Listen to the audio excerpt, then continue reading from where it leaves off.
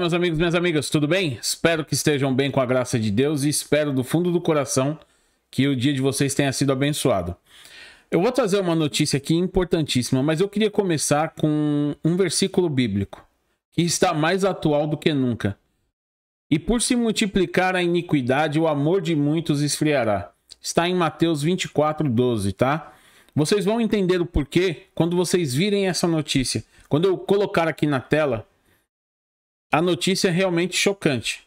E se você procurar na internet, não precisa procurar muito, você vai encontrar notícias muito parecidas, onde as pessoas presenciam crimes e ao invés de tentar evitar, de tentar auxiliar é, as vítimas, faz o quê? Fica filmando. Para, filma, faz selfie. Isso é inaceitável e está acontecendo no mundo todo, tá? Está acontecendo, é um fenômeno mundial isso. Infelizmente, principalmente no Ocidente, é um fenômeno que está tomando conta aí. Antes de colocar na tela a notícia, porque realmente é chocante, fazer só dois avisos aqui, dois anúncios, tá? Que é a nossa página do Facebook, que é o primeiro link da descrição. Clica aí, curte a página, é menos de um minuto. Você vai curtir lá, precisamos chegar em 10 mil pessoas, tá? E a gente já está em 3.500 mais ou menos. Então eu preciso da sua ajuda. Uh, o nosso segundo link, Home Office Lucrativo, é um curso para você que quer aprender a trabalhar em casa, tá?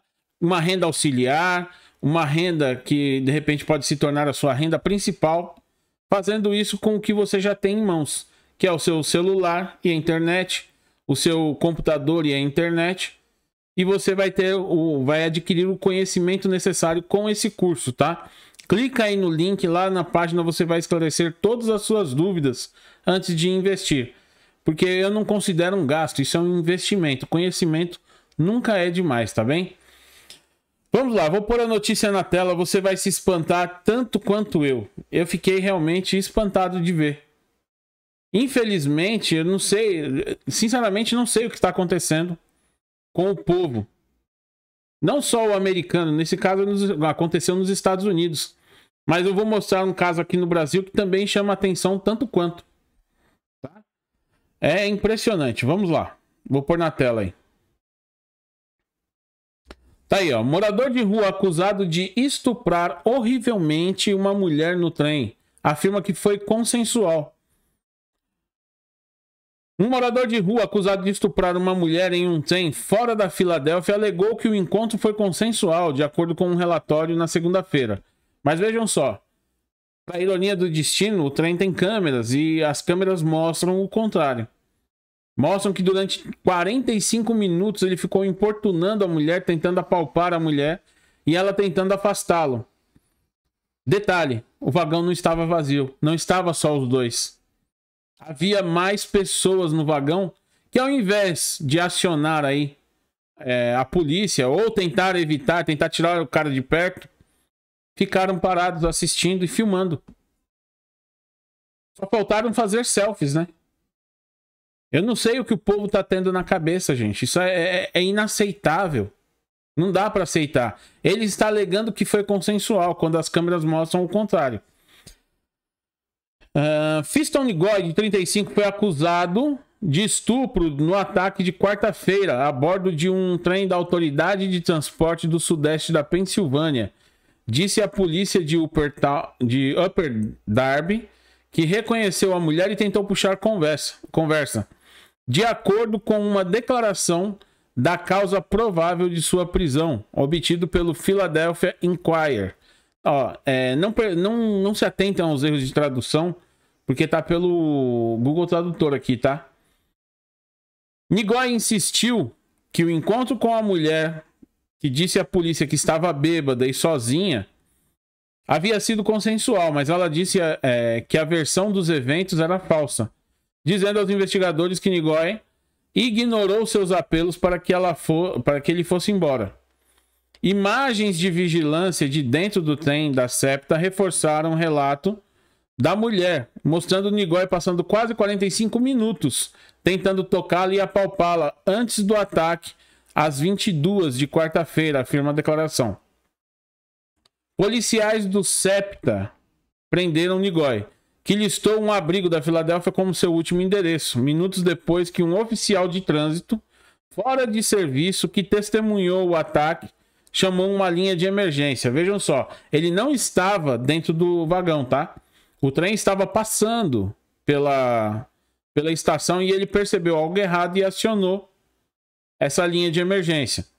Mas ninguém a bordo do trem para o oeste, na linha Market Frankfurt, interveio para impedir o ataque, disse a polícia. Vejam só, ninguém que estava presente, ninguém nem, nem falar algo para eles não falaram. Ficaram apenas assistindo.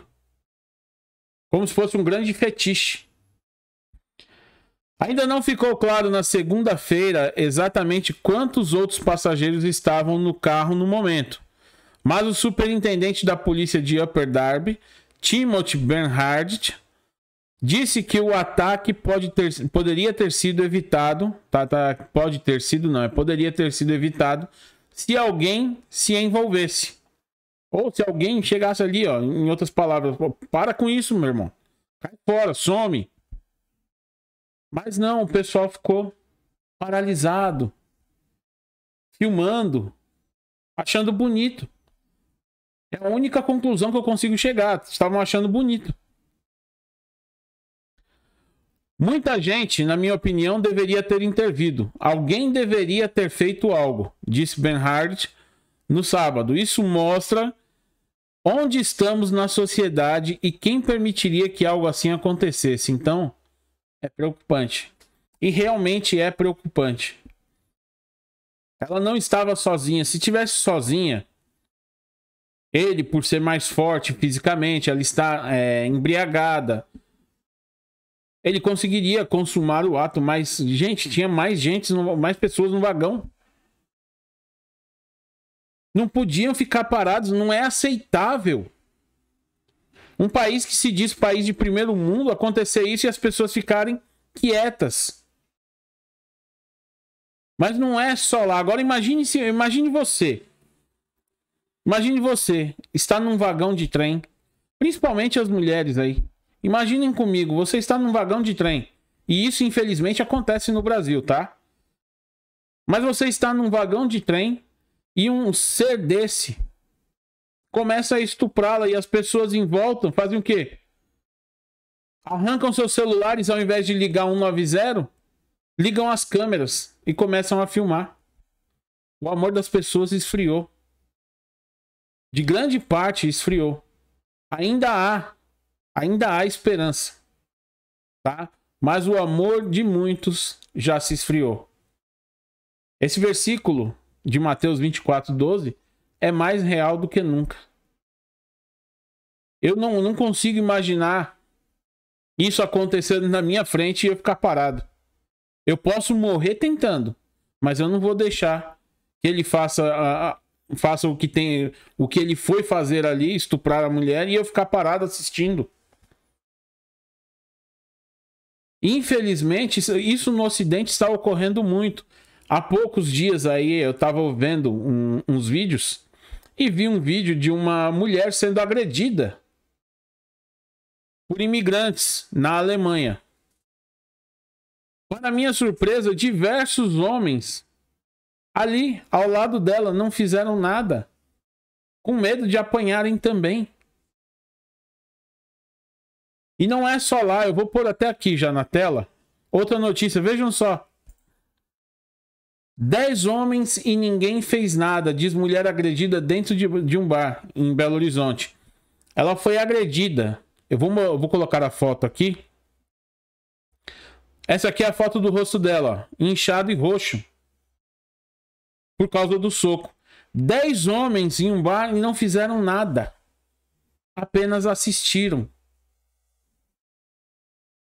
O homem estava armado? Não. Ele não estava armado. Os homens que estavam no bar ficaram atônitos ali assistindo. Ele bateu nela e foi embora. Simples assim, eu não posso passar a reportagem aqui por conta de direitos autorais. Mas simples assim. Bateu nela e foi embora. Depois ela foi na delegacia, da queixa tal. Mas até que ele responda, aconteça alguma coisa, já passou, já prescreveu. Aí ele vai distribuir lá a cesta básica no máximo. Isso é inaceitável. Antigamente, se um homem fizesse isso, agredisse uma mulher na frente de outros homens, ele estaria lascado, porque 10 homens iam com certeza bater nele. Iam agredir ele muito mais. Mas hoje em dia não. Os homens estão. É... Como é que eu posso dizer? Houve uma feminização dos homens. Os homens estão mais sensíveis. Ah, não, aí ele vai me machucar. Ah, isso não é aceitável. Isso não é ser homem.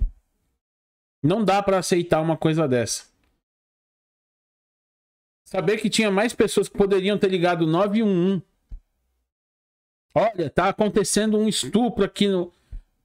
Ligar para a linha de emergência da, do trem. Tinha diversas opções. Voar em cima do cara para impedir. Mas ninguém fez nada. Sacaram o celular para filmar. A que ponto chegou? Infelizmente, isso não é algo que está acontecendo só nos Estados Unidos, tá? Isso está acontecendo no mundo todo, na Europa, no Brasil. O Ocidente está sofrendo muito com essa é, feminização dos homens. Estão tirando a virilidade dos homens, aquele instinto protetor que o homem geralmente tem. Estão matando isso aos poucos. O resultado é isso. Ao invés de reagirem, e impedirem um crime, ficam parados assistindo e filmando, como se fosse um fetiche. Como se fosse algo bom para se filmar, ou de repente para vender para alguma emissora, ou vou viralizar na internet. Realmente isso é, é demais. Os Estados Unidos e o Ocidente estão se tornando nações de covardes. Os homens estão ficando acovardados. Isso está acontecendo em maior grau nos países que eles dizem mais evoluídos. Os países de terceiro mundo ainda estão num nível bem menor. Mas esses países de primeiro mundo, eu vou, eu vou colocar lá no canal do Telegram uma entrevista de uma doutora dinamarquesa falando sobre isso. Então eu peço a você que entre lá no canal, porque eu vou postar o link lá para que você leia, para que você entenda o que está acontecendo no mundo e no Ocidente. Isso está chegando num ponto inaceitável, um ponto que não dá mais. Está sendo sufocante. E nós temos que lutar contra isso também. São diversas as lutas. É, é difícil, eu sei, eu sei, eu entendo cada um de vocês, eu sei que é difícil.